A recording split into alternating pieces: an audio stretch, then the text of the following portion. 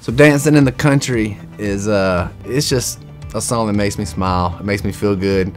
Makes me want to party, makes me want to dance. Wrote that with Ross Copperman, Jon Nite, and Keith Urban. It was my first time writing with Keith, and, and I just remember coming in and just wanting to write something that feels good. You know, I, I literally said, we have dance parties with our kids every every night after dinner, and I want to I want to write a song that the kids can dance to which means I'll be able to dance too, which means the fans will be able to dance too, and we're just gonna have a big old dance party. I'll never forget watching Ross Copperman and, and Keith Urban just sit over there really diving in and on guitar sounds. That was so fun, just watching them do their thing, and me and Jon kind of sitting on the other corner trying to write write lyrics to match uh, this energy that they were creating. And so the tempo is a little unique uh, for country and something that I'm just excited to play live and watch people have a good time to.